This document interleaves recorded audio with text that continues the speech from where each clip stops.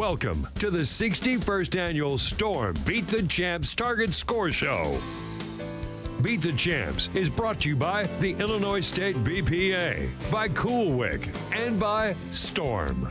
The 61st annual Beat the Champs Target Score Show featuring youth bowlers Abigail Starkey, Jos Weems, plus PWBA legend and Hall of Famer Kelly Kulick, and 15 time major champion number one bowler in the world, Jason Belmonte. The 61st annual Storm Beat the Champs Target Score Show.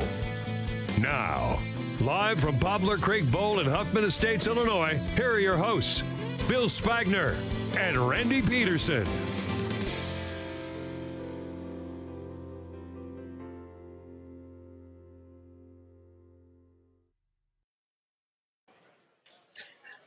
Hi, everybody, and welcome to the 61st annual Beat the Champs. We are at Poplar Creek Bowl just outside of Chicago, Illinois, and this is the target score portion of this great event sponsored by Storm Bowling Products. I'm Randy Pedersen, the PBA Hall of Famer. Joining me, uh, another Hall of Fame sidekick, a local legend, and uh, a great, great coach in his own right. And Bill Spigner is joining us today.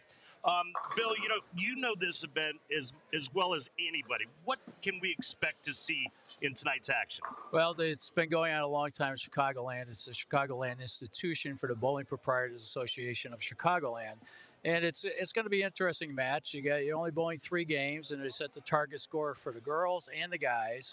And the, the league bowlers that bowled bowled uh, December 3rd through the 9th to establish their scores to try and win awards from the target scores here. But the league bowlers, they actually bowled in their leagues and they qualify to go to the next level if they get out of their leagues and or the house. And then the next level is the top 32 for girls and guys, and they get a chance to bowl for the big $10,000 prize. Awesome. All right, so let's talk about the players that we're going to be watching tonight. We'll start on the junior side.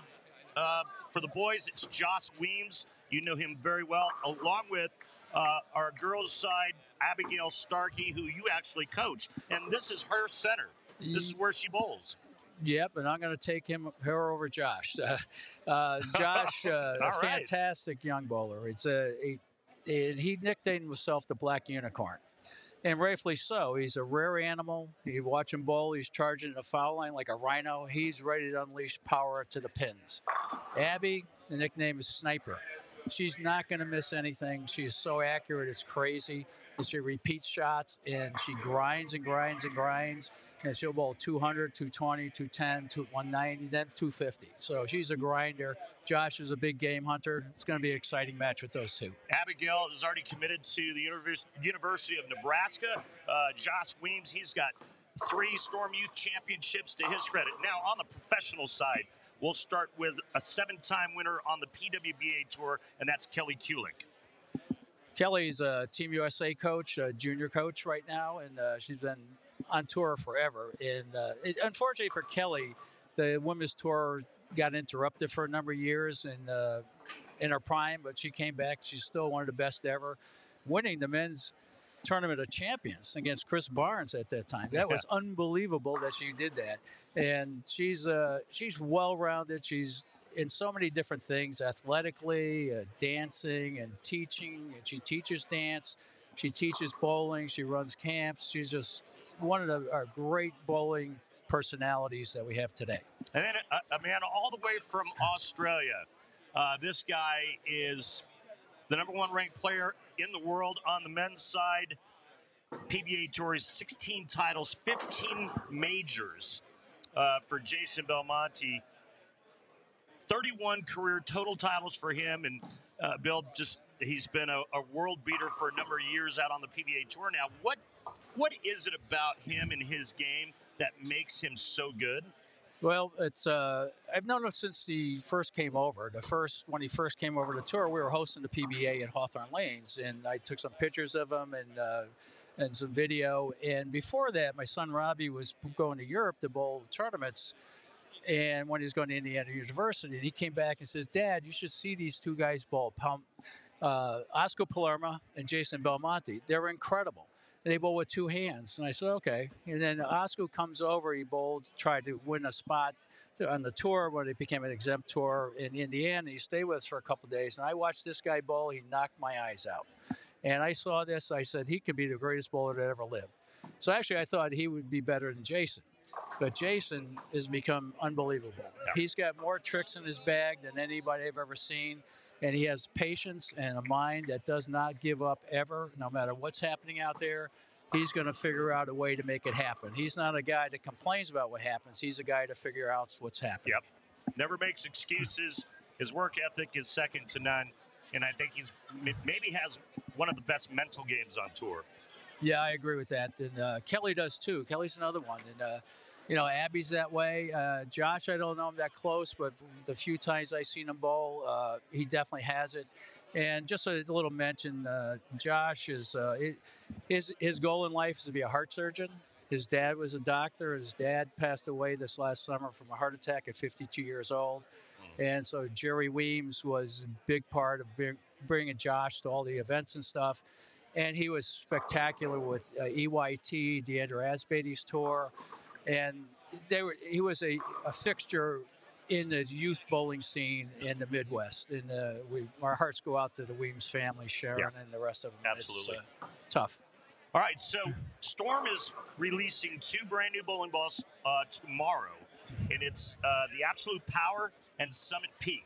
And those are the only two bowling balls that players can use for strike balls. They can uh, use a spare ball, but uh, those are the only two strike balls that'll be going down the lane uh, in tonight's three-game total pin series for each player.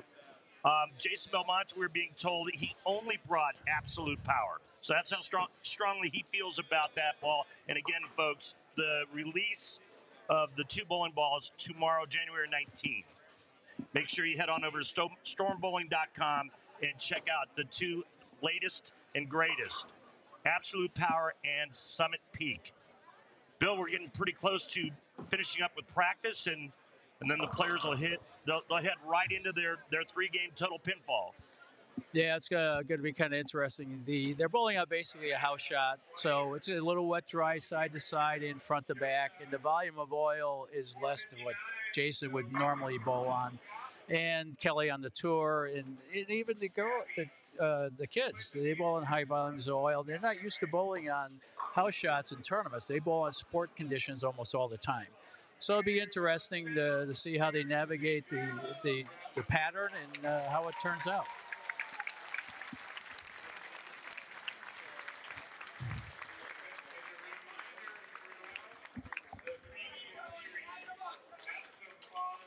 Make some noise, except you, John Martin.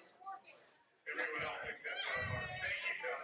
Love you, Terry Holzenberg. To the man. All right, everyone, have a great time.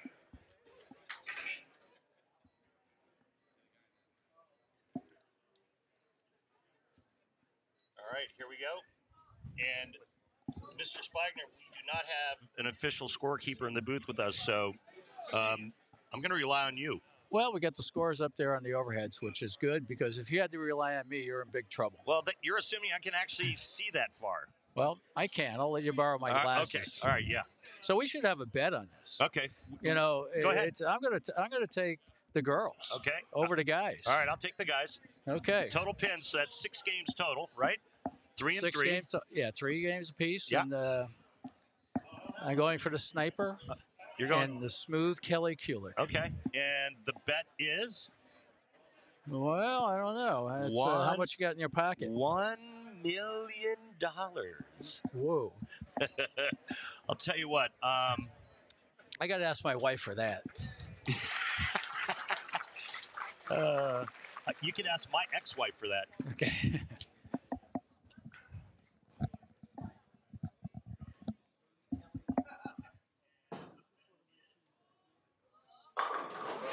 Was that a got- little tuggy? That was a little in A and little held. tuggy? But her, she's lowered her rev rate, it looks like. She's just trying to get the ball to float off her hand so that ball would be less responsive to the oil and dry. For Jason, that's going to be a little harder with his rev rate. And let's see what Josh does here. Oh, you know, it, and that's the, the the craziness of this game at times, right? I mean, all the power of Josh, and he leaves that ten pin where Kelly kicks the ten out. So it's angle and rotation. And that's just like 10 pins disintegrated in the back of the pit for Belmonte. Yeah, using that absolute power, and he has absolute power. I don't know which one's going to win. His power or the ball's power, or the or the pins are going to fail. Yeah.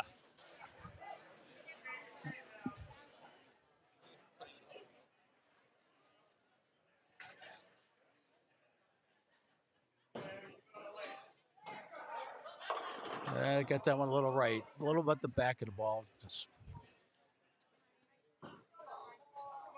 Abby. Oh, yeah. there it is. Holds, holds pocket nicely on that right lane for Abigail. Kelly, one in on the left lane, one right on the right lane, Bill. Yeah, it looks like they're all playing their own angles. As Abby's playing her angle a little down right in, Josh is further left. Kelly's kind of in the eh, neutral area around second arrow between the second and third arrow. And Jason, uh, they didn't see the first shot. But I'm assuming he's going to play right around 15 out to about 7 8. 15 out to anywhere. Well, he can do that. Ooh, Whoa. nice double to start for Abigail Starkey. You know, first couple of shots on TV like this for these kids, it's pretty amazing how good they threw it. We call that one ugh. territory that we never saw when we Ugh. bowled. My ball used to hit like that, said me never. No, the lane surface didn't allow that. Neither did my rev rate yeah, or lack thereof. Uh, nice shot there, Jos. you had a pretty good rev rate on the ball. You Yeah. had- You had that great swing, one of the best swings that bowling had. Well, thanks, Bill. Back in the good old days. Yep, today's a good old day for me. That, yeah, that one she rotated a little bit more. The other one she got to the same spot. It just came a little off the front of her hand. Uh, she's kicking things out. She's getting cocky out there. I don't know.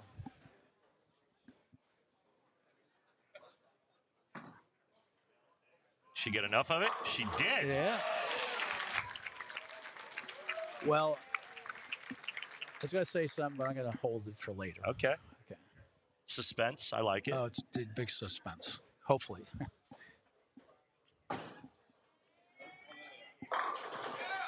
How come all three have looked, looked exactly the same? yeah. That's, uh, maybe that's why he's the best that ever lived. Oh, no. Jos is getting robbed on that left lane. He's not happy. He threw it good. He knew he threw it good. Yeah, he when you throw it good, you know, hopefully good things happen.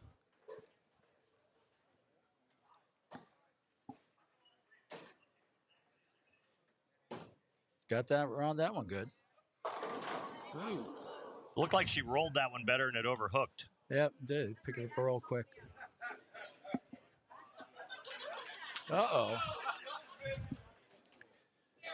You gotta realize this is a fun match Yeah. for, for them. You know, it's it's it, and they want to bowl good. They nobody ever wants to go out there and bowl bad, so uh, they gotta handle it a little lightly compared to what you watch on the E ESPN and on and Fox, especially Fox. Yeah. Especially Fox.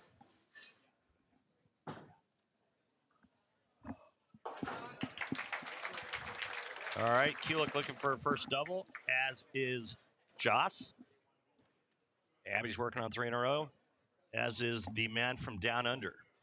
Do you know what a Vegemite sandwich is? No, I don't either. good.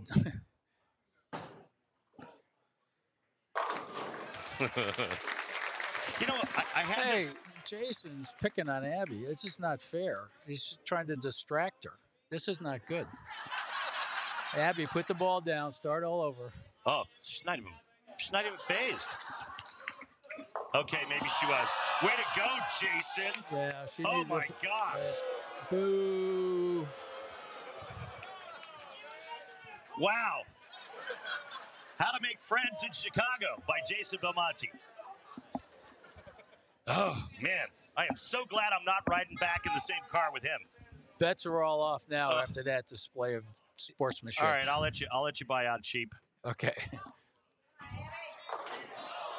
So Oh, Bill, she made it. Oh, my she God. made it. Oh my gosh! the four pin out of the pin to the six pin. Unbelievable. Are you kidding me? Now Jason's getting down on his hands and knees to apologize, which he should. No, he's actually saying, you know, the only reason why you made that is because of what I did to you before you left it. Oh yeah.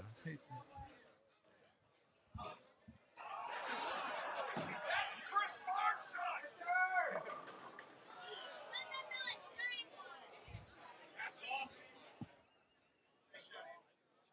Incredible. Wow. Yeah, baby. Right, there we go. Now, Bill, this is the first time youth, the youths are included and Beat the Champs to set a target score. Yeah, last year was the first year they had a youth division, and this year having a target score was a phenomenal idea. And uh, Storm's marketing on this and, and supporting bowling for Chicagoland is just incredible. And uh, we're all treated to this, and I am I'm a fan as much as I have been a bowler. So this is uh, I'm in awe of this thing.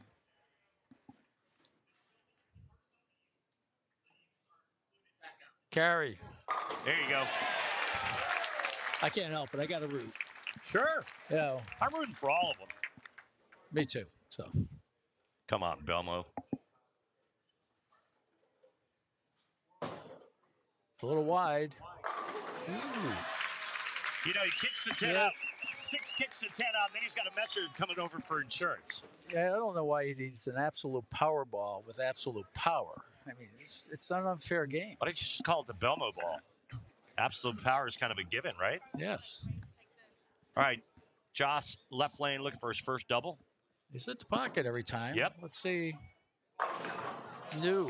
What? All right, Bill, what's going on with him in that left lane? That ball just rolled a little too forward. It picked up a roll and entered the pins a little bit too straight.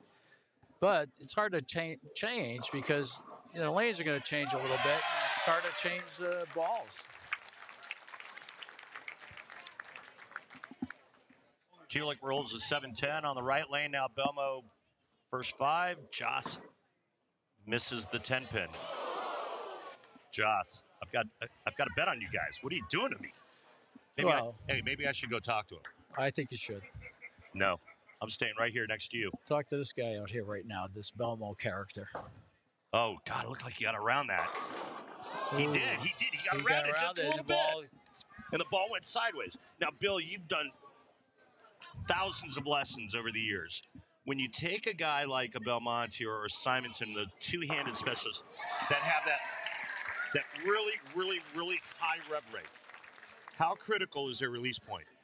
uh, is very critical. And you know that there, leaving a solid nine, people say, "Well, he should have struck," and I would tell them, "Well, if he should have struck, he would have struck. Something wasn't quite right. He threw the ball good, good location, bad rotation. Right. It had a little more side roll on it, and went through the pins a little bit too steep. And he can't strike. Yeah, his ball is just getting a little too forward. Yeah.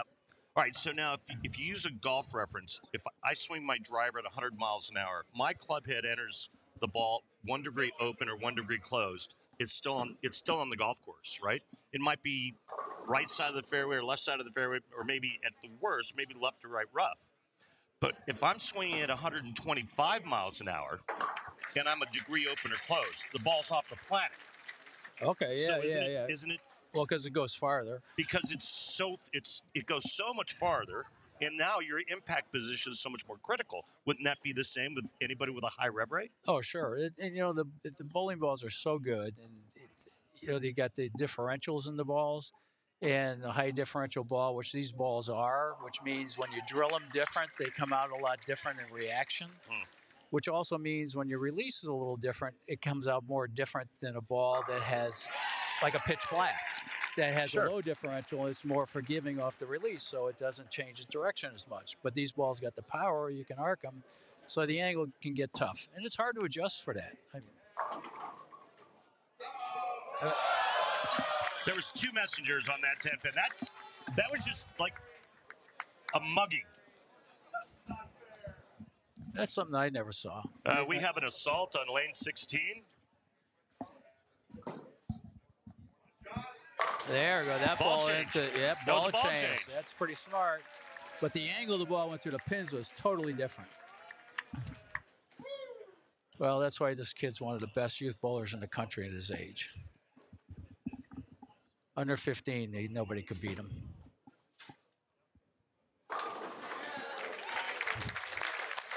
Lane through eight for Kulick, no doubles. And Settle. Abigail. Sniper. on fire. All strikes, and she makes the four, six, seven in the fourth frame. She deserved making that after what She did. Belmonte Oh, did no- to him. We're no going to have to take him out back. I mean, I don't know what he's thinking. This isn't Perth, Australia. I mean, this is Chicago. Well, there's a lot of muggings in Chicago. He better be careful. All I know is I'm not going to be standing too close to him when this is done.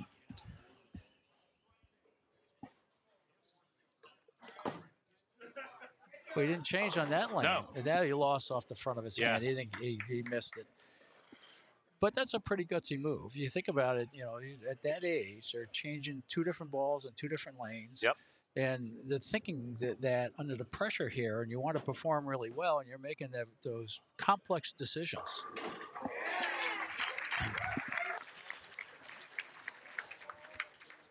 Now, Bill, you've seen a lot of uh, two-handed players. Bill, you've seen a lot of two-handed players. You've worked with uh, lots. Here, here's something you have to explain to me. You know, you and I were were taught a, a different way. Obviously, we use one hand, and we were all we, we were always taught that the steadier our head our heads were at release, the better. Right? You keep your eyes on your target, and uh, you can stay more focused in the direction you want to throw it in, and hit that target, be more accurate. The two-handers, with the exception of Jason Belmonte and a couple of others, but you watch Josh, you think about Anthony Simonsen, they've got a lot of head movement. it's a lot. A lot of it is upper body rotation because their their their whole core of the body rotates a lot more. Okay, And what about the up and down with the head, Well, the head, head, movement? the head gets too low. If you if you see a two hander and the head, you can't see their head from a level view going into the release zone. They're in trouble. Like he gets his head below his shoulders. I mean, there's a big but he dip, comes up. big dip right before he gets into Yeah. the slide, and then his head comes up. That's a lot of head movement. You watch Belmonte, he doesn't have very much. No, he's got less than he used to have too. But but you got to look at the size of the person and throwing a 15 pound bowling ball versus the size of Jason throwing a 15 pound Gotcha. bowling ball. So that dip down and coming up creates a lot of velocity Gotcha. with the arm swing going through, and it's necessary. And as they get bigger and stronger, you start refining it.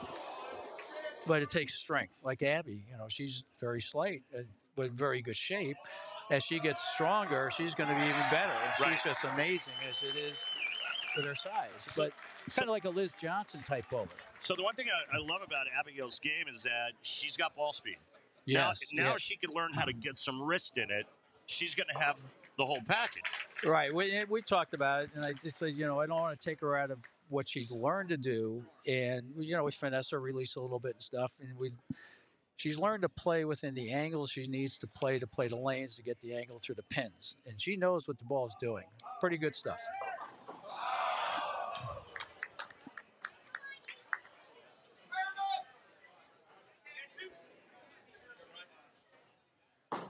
Well, Got around that one too. Got it wide, got around it. Goes light, but it's 255 opening game for Jason Belmonte. And well, is she going to make the double pinochle? I would think so. She made would- the other one. This w- is wouldn't be surprised. ah. How about 261 for Abby?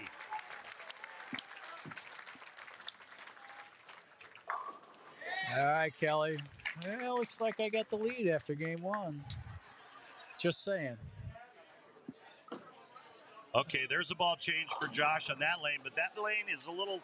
It Yeah. looks a little tighter down lane for the angle he's playing. Yeah, it is. And he's, he's getting a little off the front of his hand. He's probably doing that on purpose because if he gets around it, it, it Goes sideways? sideways. Yeah, yeah. So that's not a.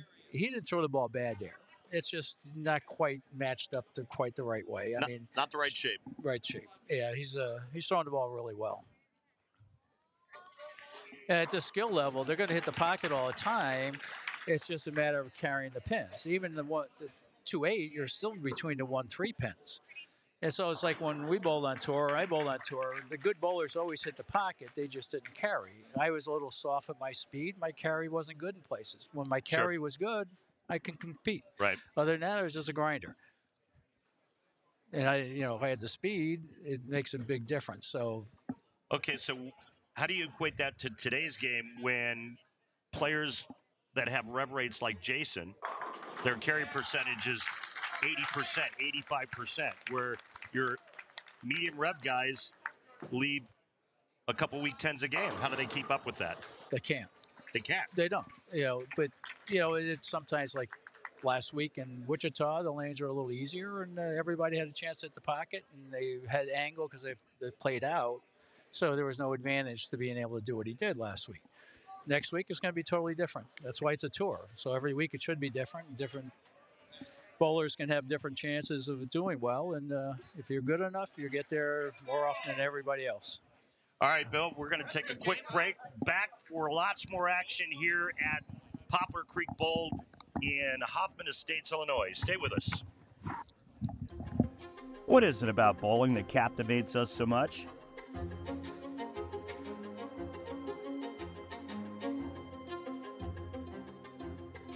Mastery of the game is impossible, but perfection is just within reach.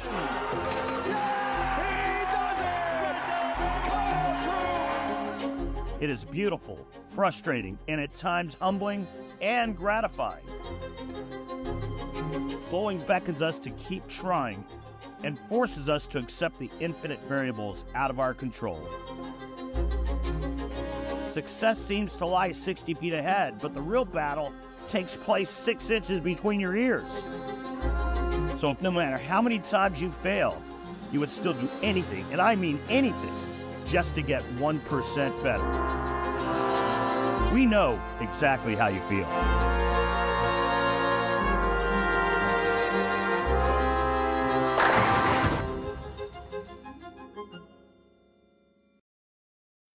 Just to make a point, if you don't look good on the lanes, you won't do good on the lanes. Shop the look. Cool Wick, proud jersey partner of Storm Bowling.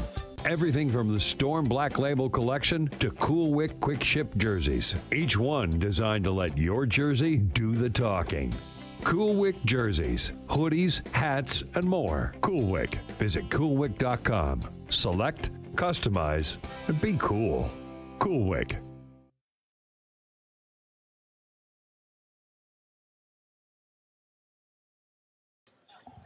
All right, everybody, welcome back to the 61st annual Beat the Champs. I'm Hall of Famer Randy Pedersen, Hall of Famer Bill Spigner, and joining us in the booth, uh, the 34 years as director of this great event since retired. Uh, welcome, Bill Duff. Bill, thanks so much for being here. And, uh, you know, this is uh, your time to give us maybe a brief history lesson about this great event. Great, thanks, Randy. I'm glad you're here today too. Thank Um, you. We uh, we this contest started in 1961-62, so it's been going on for over 60 years, and uh, so there's a big tradition in the Chicagoland bowling community. There's really two different uh, contests in one, and the first one is, of course, setting the target scores, and every league bowler having a chance to to beat the champ. And then the second part of it is an actual tournament where the uh, top bowlers win uh, great prizes. Uh, back in the day, it was cars. In fact, uh, Bill's son, Robbie Spigner, won a car one I year. heard that. I heard Mhm. that rumor that, that Well- Robbie won a car. I have to brag on that one. Yeah, you know, anything he can do to get out from buying his kid a car. You And know what I mean? he, he threw a storm bowling ball at that time, a storm rain of fire. That's why you won a car. That's right. Yeah, I can vouch for that. So, yeah, and, and now it's a ten thousand dollar first place prize for the men and the women. But um, what's interesting is we had a sponsor with the Chicago Sun Times. The originator uh, of the contest was a, sports editor for the Sun Times. His name was Sandy Shube, um, and he started this whole thing, and then uh, got uh, a gentleman named Sam Weinstein who um, owned Universal Bowling and Billiards and was the ten pin tattler. Uh, he worked for WGN. In fact, he was the master of ceremonies for the days um, when Jerry Lewis was bowling. And, um and uh, being on WGN gave us an opportunity for the uh, super to, to use the superstation. Then this was before cable, so it really got it got out there. And the tradition was it was taped ahead of time, and then uh, broadcast on Christmas Day, which was a, a, a huge tradition. And then uh, and, and so Sam Weinstein uh, had uh, done the show for many many years, and then uh, Jan Schmidt. Who was the voice of the Lady Pro Bowlers Tour, along with Carmen Salvino, did it for, for more than 20 years after that. And then we used some local talent um, here. Sean Rash and Diandra Asbaty uh, helped us on the show too. So it's uh, it's been a, it's been great. We've you know uh, Kelly Kulick's bowled on this show now four years. It used to be that the BPA, being affiliated with the BPA, the we always asked the All Star, and um, after the All Star, it became the U.S. Open. The U.S. Open champions to uh, set the target scores. They were our first invite, and uh, it, it's been going on now. You know, things have changed so much with newspapers and bowling from 1961-62 to now. But wow, did we find a sponsor with Storm and what they can provide? And you know, we went from at a time where it was an invitation only, and you almost had to had to sign an NDA. I don't even think they had NDAs back then. Oh yeah, I remember that when we hosted it. You know, you, Yeah. you, you couldn't get in the door; they were going to get a gun on you. and, and and you couldn't you couldn't tell anybody what the score was until it was broadcast on Christmas Day, and of course social media took care of that. Yeah, sure. And so here we are today with hundreds of bowlers here, a lot of youth, and now with the youth component that uh, that we've added with uh, Storm's help has really just keeps making this contest better and better. I mean, I think you look down the list of some of the names that have been here, and you start at the top of the list with Don Carter, then Dick Weber, Billy Hardwick, Jim Godman, Nelson Burton Jr., Earl Anthony, Marshall Holman, Mark Roth, Carmen Salvino. Um, it just, you know, the greatest to ever play the game, and, and they've all been a part of this. Dave Husted, Mike Aulby, uh, Ballard Jr., Jason Couch, Pete Weber, Norm Duke. I mean, the list goes on and on and on, and, and it really says a lot about this this uh, this event. Yeah. We've we've they've helped make the show what it is. What do you think about our, our bowlers here, Bill? Who, who impresses you the most? And be honest. I tell you what, it's just so great to have Belmo here. Did you see that? You know what we call that? We call that pure filth. um, Yeah, it's great to have him here, isn't it? yeah. I mean, guy's just uh, an attention magnet, and as as it should be. I mean, he's done some great things in the sport, and and, I, and I, it was going to be a topic of conversation for Bill and I, but we might as well just start it now.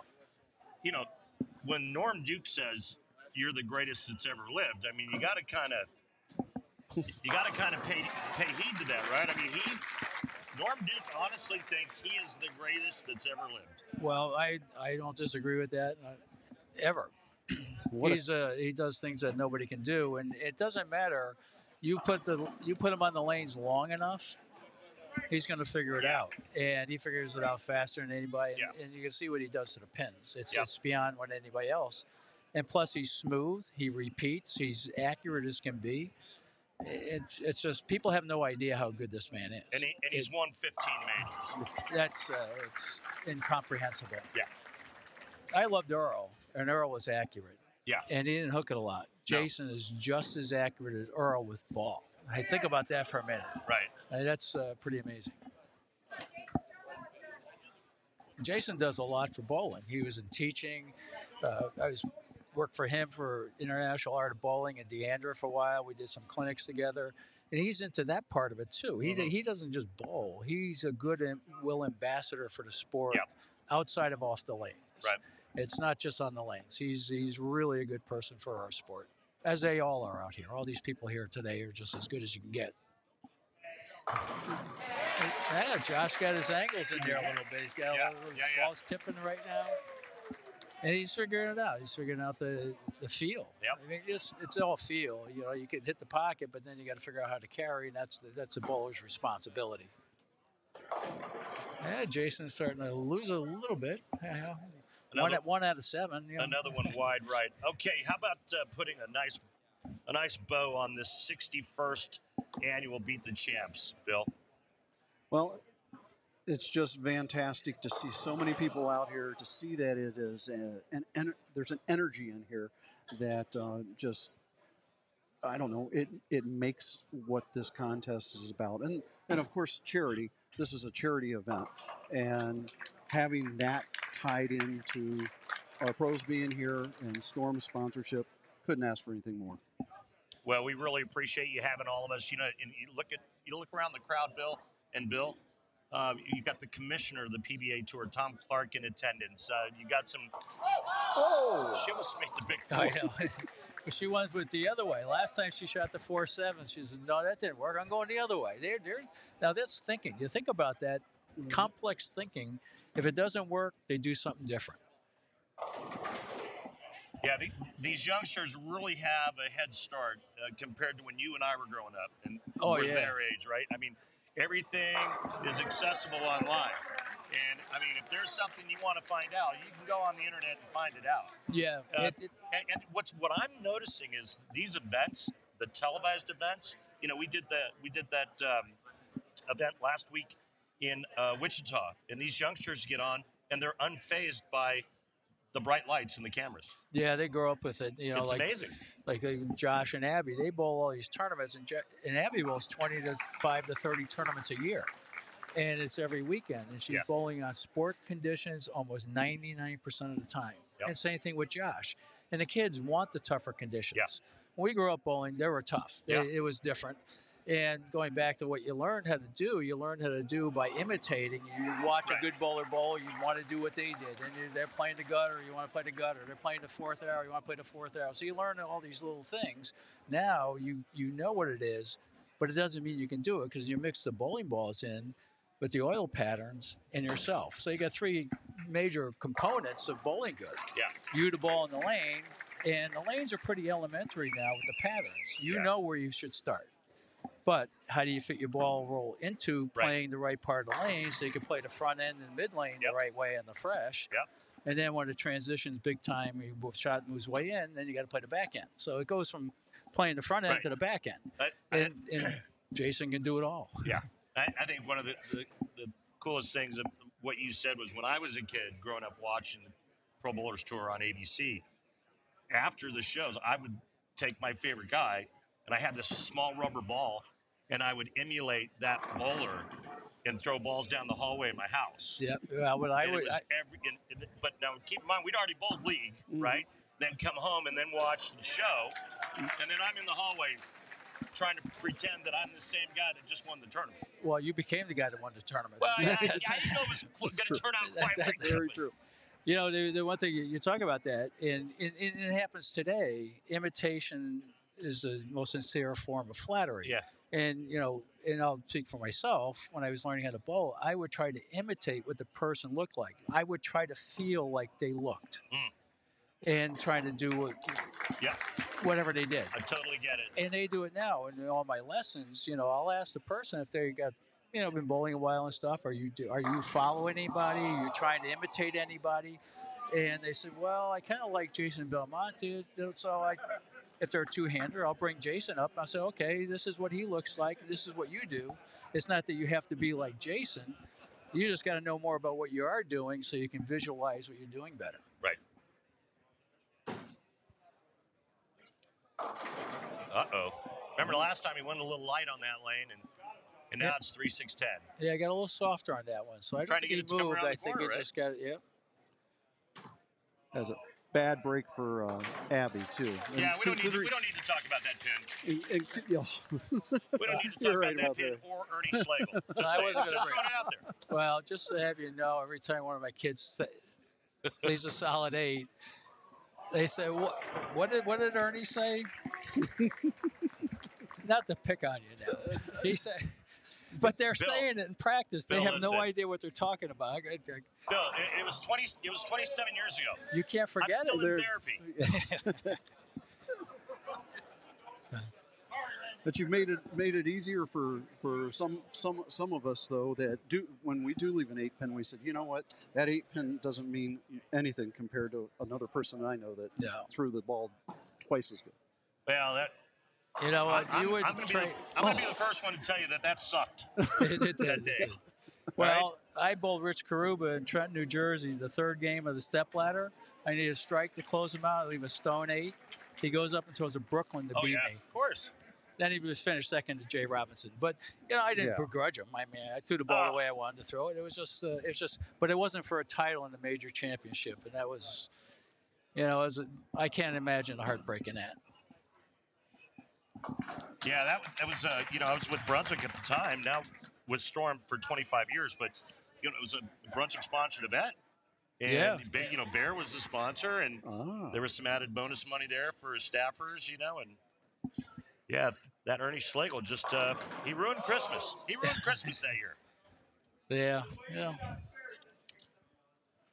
We are almost at the end of game number two. I'll give you a rundown real quick of max scores. Belmonte can shoot 259, Kulick 181, Abby 195 with a spare. She's got to cover the 4 9.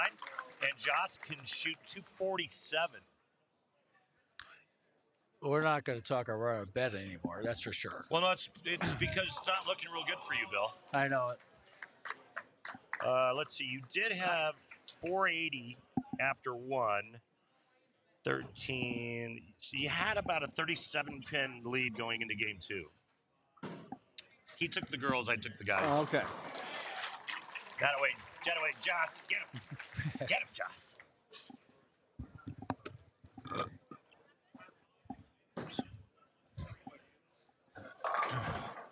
All right, Kelly. go.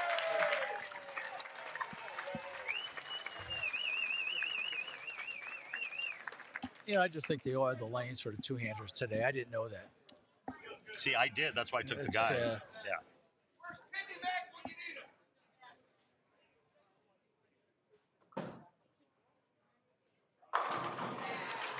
Yeah, boy. look. He's got that little reaction. He's got that fire in his belly. Yeah, he's, he's going to be in the 240s. He's a competitor.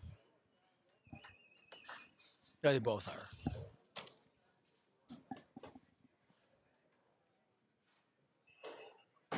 Jason moved way in on that one and floated it way out there.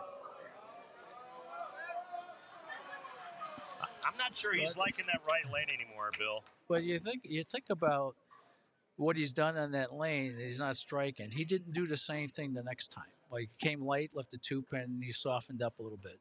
That time, then he came high. This time he moved. It looked like seven, eight boards Yeah. left, and got soft and arced it more. Yeah. Now, that, now, how do you turn that on and off like that in that that range of play? It's just it's just incomprehensible. That's just the way his mind works, right? Yep. And Simo has a big range of play, but Yeah, he he has does. a bigger range. Simo's better straight. Jason's better hooking it. Yep. So in between, both work phenomenally. That's why they're the two best. And Tackett, uh, you know, he's, he's pretty special too. But he bowls with one hand. That's, uh, One that's hand. unusual today. Incredible. Approaching almost 600 RPMs. Now he lofted that one more. No, that didn't work. That was a whiff. No, he, he could get some airtime on But- that but- one. He moved further back Yeah, right. but like you said, he's trying something different every time. Every time. And it's been four shots in a row now that he has not struck on that leg. just think of the There it confidence. goes. All right, Ellie. Just think of the confidence that you can make a change like that, and if it doesn't work, you do it to the next thing. And he's totally committed to what he did, and he changes again. It's that's uh, it's hard to do. I, I I can't do it. It's like a bowl a game, bowl 250 with a ball, and I go week 10 strike, week 10 double, week 10. That ball would have been gone three frames before with Jason. Yeah, yeah. You know, I would suck it up for 2 0. I know.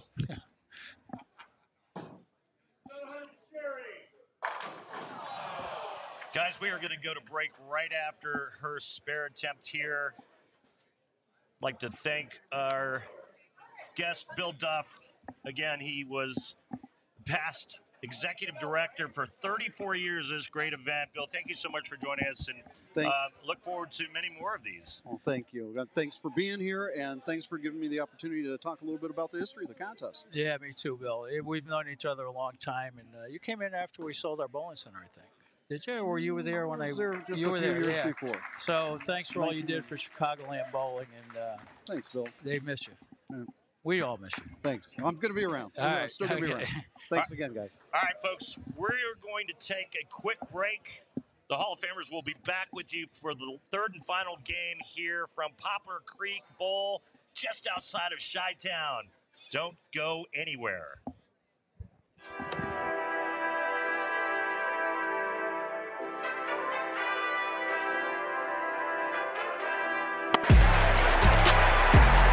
I love baseball. I love the White Sox. I'm from the South Side, so this is pretty much a dream come true for me. Yeah, I work in baseball. I have a passion for bowling. I've been bowling about 25, 30 years now, and I just love the sport of bowling. Tried to figure out a way to get the guys together outside of bowling. I came up with uh, with the Bowlers Day, and I went to my superiors and they said, "Hey, you know, you can put it together, make it happen, go for it." And that's one thing about the White Sox is, you know, nothing is off limits. And that goes back to our owner. You know, we've got the best owner in the world. Here, 20 years later, we're still doing Bowlers Day. It's to bring people together, and that's what baseball's about. It's a family. It's a family sport. You know, you come out here, you bring your families out, and then when you can get people that's friends from different neighborhoods and different areas, different bowling centers to come together, and we see each other in passing, but to see each other in a different atmosphere, that's awesome.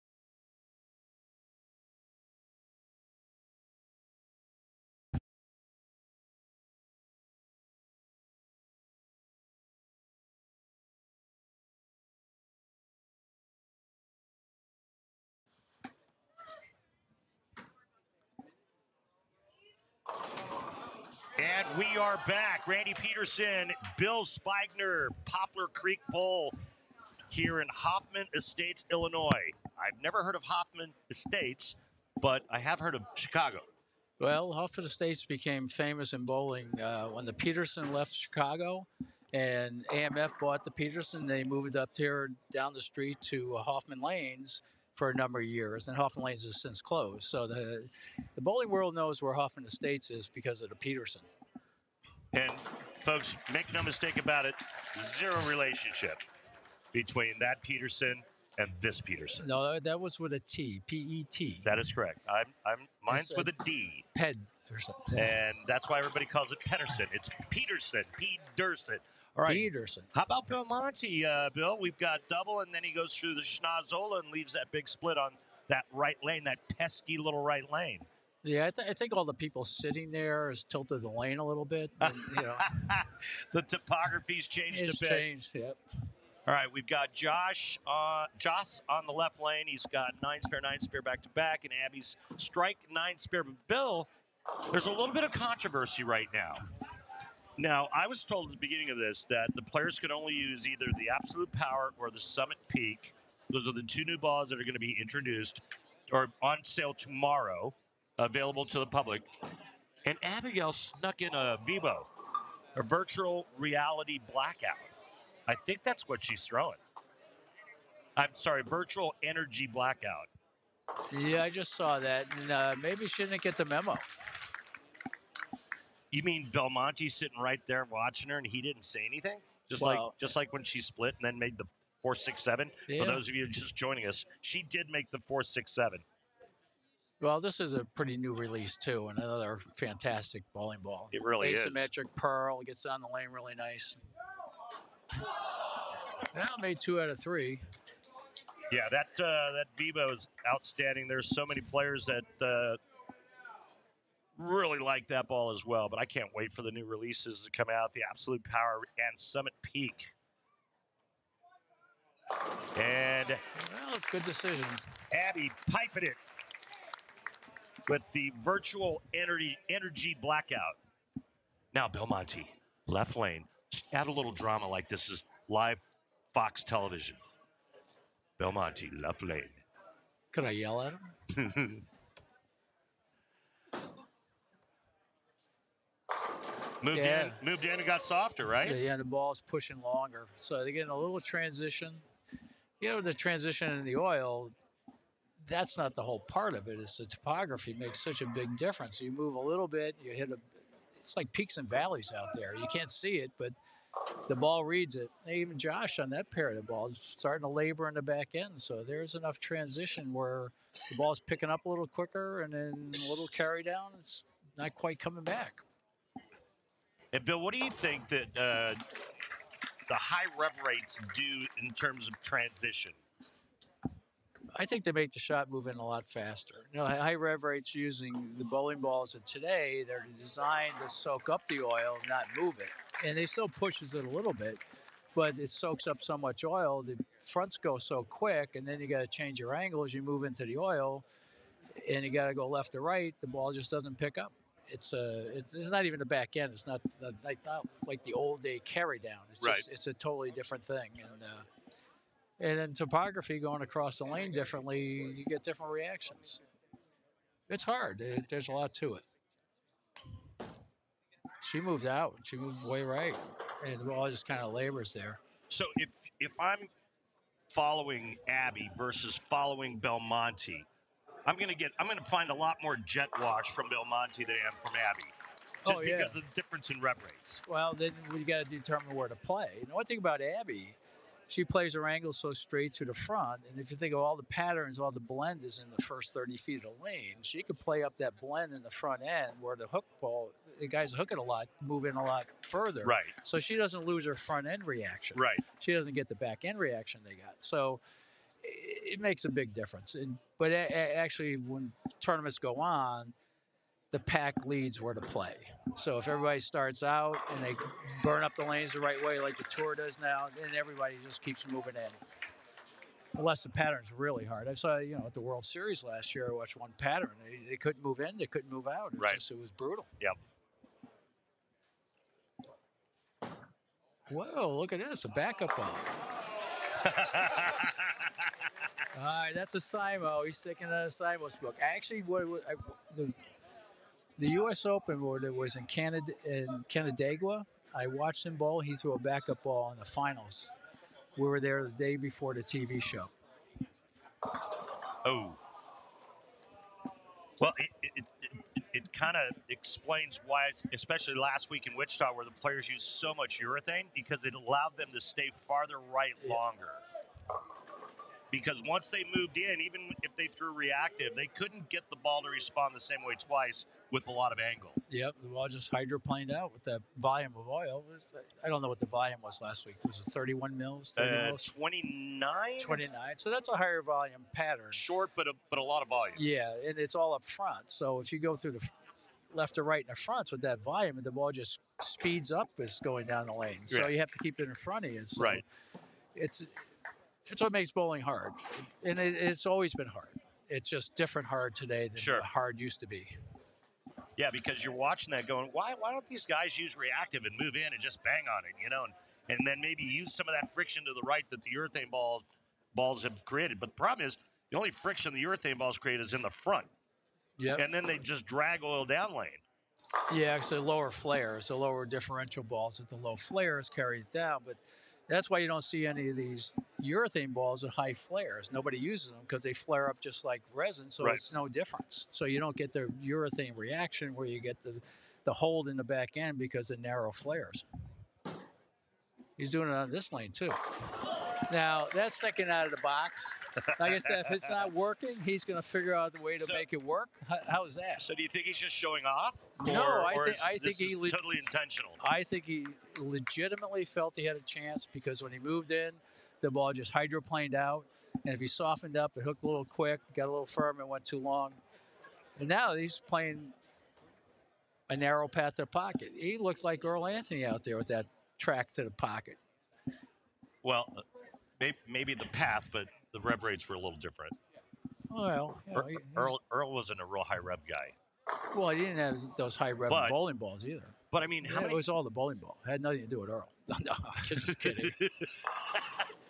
no, oh no. pocket seven ten for Abby. that lane has been not been nice. Two double pinochles, a Yeah. four, six, Yeah. seven, which she made, and Yeah. a seven ten. I I fully expect her to give it a go. If she makes this, this place is going to go crazy.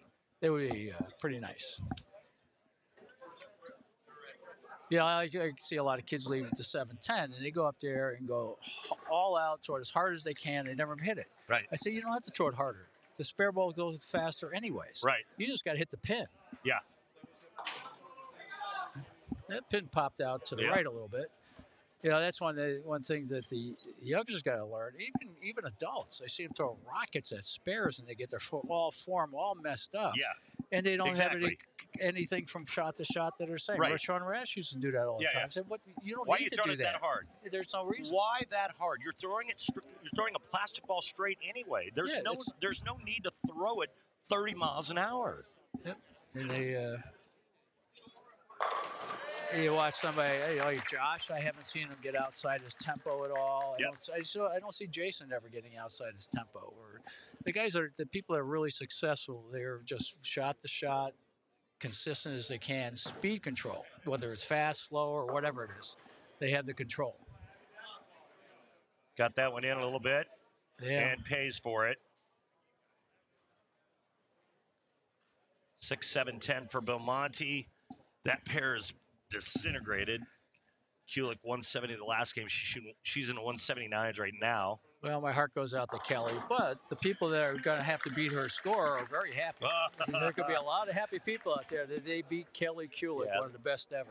Be a lot of Kulick fans uh, in the Chicagoland area. It's a little backup at that. You know, they've been starting to do that. They throw like at the 369 or the 3610 rather. They started to throw this little peeler, a little little slight backup ball at the 3610 on tour. Well, it makes sense. You don't chop. I saw Jason do that in practice. I said that's pretty good. I didn't realize that that's become a thing. That was a solid seven, pretty high flush. Yeah, that, could almost a fast eight. I think EJ Tackett's got a little bit of that backup as well. So I've seen a lot of players starting to do that at the 3610. Now Kelly moved way in, soft stroking it, trying to hook it. And Oh, we get another seven ten another shot. 710. Going left-handed. What did she say? Yeah, Bring in the lefty, I guess. Oh, Baseball. Well, Kelly doesn't have a spare ball with her. I was surprised at that. Or she hadn't been using it. she's pretty good at flattening her hand out, Yeah. Rolling it end over end.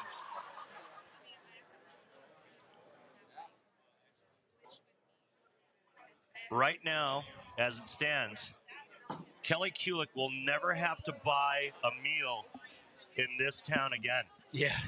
or in all of Chicagoland. Well, Everybody's going to win their awards. All right, Abby. Abby kicks head out late for a double. Now Belmonte stepping back up the left lane, going with the backup ball the last three shots. This guy's he's got more tools than a TV repairman. Now, all my two-handed students are going to want to throw backup balls. Now, you see what he's done They should. I mean, You know, Simon Simonsen won a tournament I throwing a know. backup ball. That was amazing. Yeah. That was truly amazing.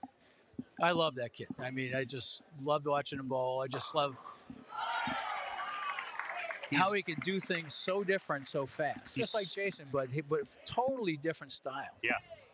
Like Jason looks effortless. Simonsen looks like he's using a lot of energy. He right? looks like the black unicorn out Yeah. there. He just puts it in there, balls out. Excuse me. Yeah. just goes goes ahead, just fires. But but they're always doing something different. It's calculated. It's not guesswork. Yeah. They're, they're know they know what they're doing. They know what they can do, and they don't quit trying to learn to do things differently or even more to hone their skills. Carrie. She's good at getting that 10 out as Yeah. long as she has a little bit of angle, right? If she can keep it in front of her. Well, she knows when she leaves the ten, she's she's changing. It, it- it's subtle changes. It's different. You don't see the wide changes like a Jason. but Right. She knows how to mani- manipulate the pocket.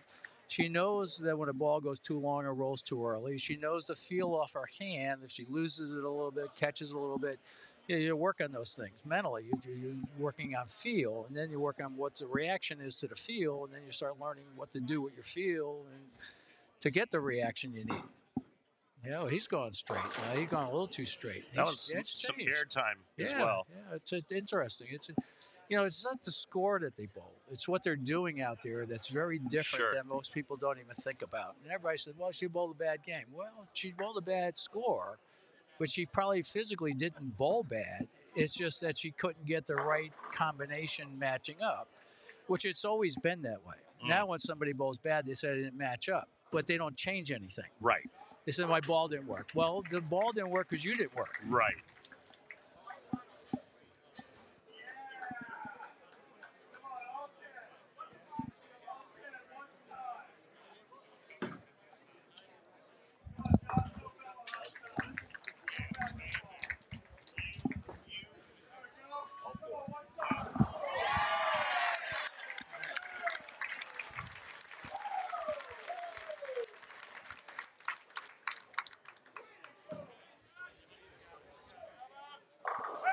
All right. Well, Kelly finally gets a strike and uh, down her hands and knees, and thanks God. It's uh, she's done a hundred, a ton of different things today, just trying to get the angles right in the pocket. And uh, you know, one thing on tour is you bowl a game, you have a rough game, you can't get your angles, you're done with that game. You only got five lane, five frames on a pair. So here they have to bowl three games on a pair, and, they, and if it starts changing, they they don't get to go to another pair. So it's it's a different game when you're bowling on one pair.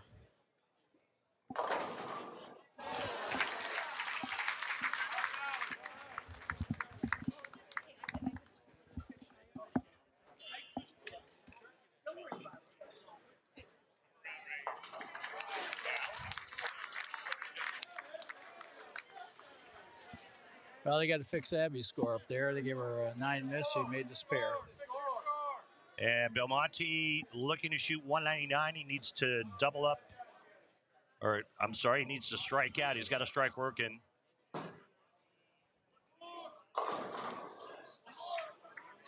Well, I was hoping he would trip to three.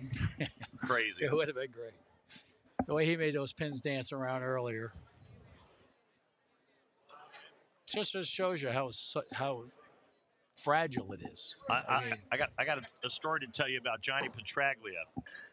He told me years ago when Jason was just annihilating everyone on the PBA tour. He says, "Mark my words, you'll get one of these two-handers that'll throw a backup ball as well."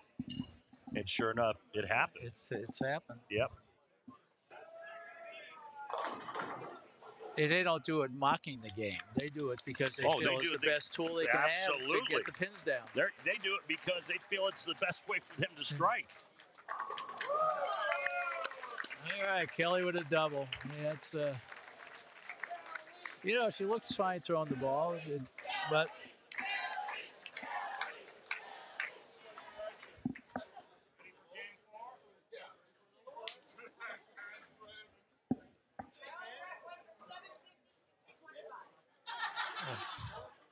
Kelly wants to go to a different pair.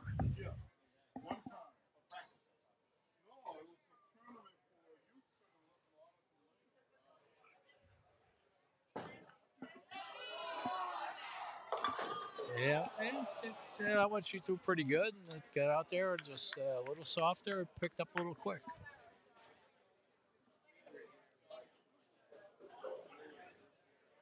So the hard part with a lot of bowlers, it's it's the score that means everything. It's not the process they go through to get there, and it's not always the score.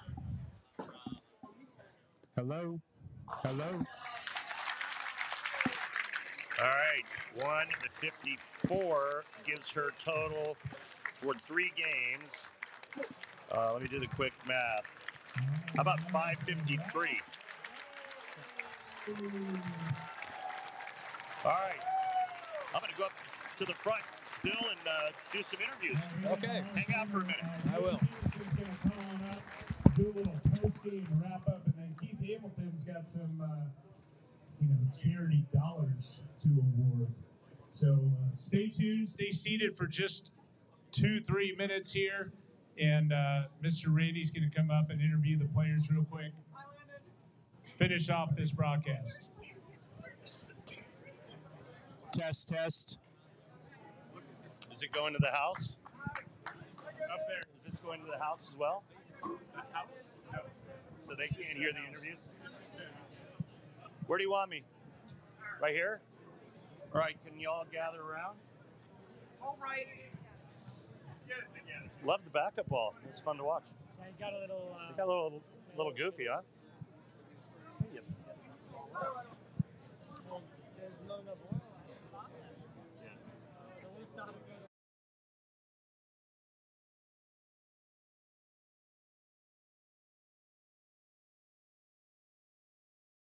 Back and we're live with our four players, and we're going to start with Abby. Abby, everyone's dying to know exactly what Jason said to you when you left that four six seven split. What did he say? Well, he's. oh, I don't even remember what he said. What'd you say to her?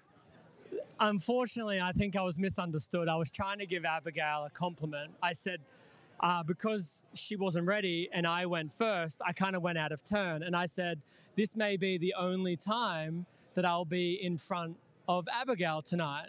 And I was kind of happy with that because I was like, hey, I'm like, she's going to beat me tonight. But I think it was misunderstood. And then they all booed me. and then she. As they should. Oh, why? And then she makes it. But I thought that was a compliment. And then you step up and make it. What, what'd you think when you saw all three of them go down? Well, I was a little shocked, um, to say the least. I didn't know where that pin came from. All right, and then what did you say to him after you made it? I just said, "Oh, I took it as a compliment." Perfect. All right. Well, uh, Abby, you shot 648, so nice. Well, and that's your score that you posted. And we're going to move on to Jos. Jos, I, I noticed that you had a little bit of trouble early on. You were going through a lot of different adjustments. What made you decide to settle into the way you played the lanes late? Um, it was just a lot of moving around and seeing what actually didn't tap. Um, yeah, I it was just a different way I had to uh, move my hand at the release, and uh, yeah, it worked. And how would you describe this whole experience? Um, it's a lot of exposure. I'm really, uh, really grateful to be here in front of all these people bowling. Uh, this is just a great experience. All right, Josh, thanks very much. 627 for you, young man. Kelly, we're going to go to you. Um, just so you know, you're probably never going to have to pay for a meal again in the Chicagoland area. Uh, a little bit of struggles out there. Tell us what you were seeing and why your ball reaction was so tough. Uh, you know, Abby said that straighter here is greater. So I tried breaking down the track with Jason. He just took a little more I do. I got left, but I just couldn't carry it to the pin. So I just tried to do a change up the strategy, go back right, but that didn't work either. So I, after that, the lane would just kind of kind of got a little challenging towards the end. Trying to strike on this was was difficult. So you know, hey, I you know showed my versatility, not the scores I wanted, but it was a lot of fun. Well, and this is your fourth time being in this event, isn't it? It is. It's probably the lowest score I've shot in the four appearances, but you know the Illinois Bowling Proprietors Association does a wonderful job hosting this event. I'm glad Storm came on board, and it's great to see the the future generation of our sport just pave the way for the next generation. And I know the fans here loved having you, so thanks very much for being here, Kelly. And then you, young man. 680 led all the scores and went with a backup ball late. Tell us why you went to that decision. Yeah, I think like Kelly said, we kind of tried to play them a little further out in practice, and there was just so much friction Um, and we both, you know, we didn't have like a full range of bowling balls here. We had, uh, I was using the Absolute Power, which is a pretty strong cover and it's a strong ball. So we started further left than we probably would have really wanted to. And then I think I, um, I tried to go over the fronts in the third game, and then one shot it just hooked as soon as it hit the lane. So I thought, if the further left I get, the harder it's going to be to actually go through them. So I thought maybe I'll throw back up. And then actually, the one that I split bowling back up, I thought, oh, it's inside. Should be fresh on that side of the lane. Yeah. So uh, forgive me for all the left-handers when I've trashed you in the past. Your lanes aren't that easy. You still have to make a shot. All right, and and uh, how many 300 games throwing a backup ball for you? Oh, I don't know. Um, a couple. Yeah, there's been a few, but on the PBA tour, n- none on the PBA tour. But there's been a few around there. When they're a little softer like this, you can get away with it. All right, Jason, thank you so much for being here. Best of luck next week at the U.S. Open, Indianapolis. Yeah, appreciate it. Right? Thank you for having me here in the Chicagoland area to bowl this. Uh, I've heard so much about this tournament for a really long time, so it was really awesome. And uh, yeah, I hope I get to come back one day. Awesome. Thanks to all four of our players. I'm going to introduce Keith Hamilton, who's going to say a few words for you, folks. Keith, come on up. Randy, thank you so much. You know, I, I know you're used to bowling for a few thousand dollars at a time. I appreciate all that, but we just want to give you a little, a very little small token of our appreciation for everything that you've done. I know you're going to like carrying that across uh, on your plane travels. Kelly, this is for you. Thank you, Matt. Ladies and gentlemen, the, Mr. Bill Duff has been the longest standing executive director in Illinois State proprietor history of 27 years. He just retired. Can you please give him a round of applause? And jo- Josh, this is for you. And Abigail. And Randy, I'm sorry, but we really appreciate you being here. And whether you like it or not, you're going to have to put this in your suitcase and take it home. But thank you so much. I appreciate it. Okay, cut. Okay, so now that the uh,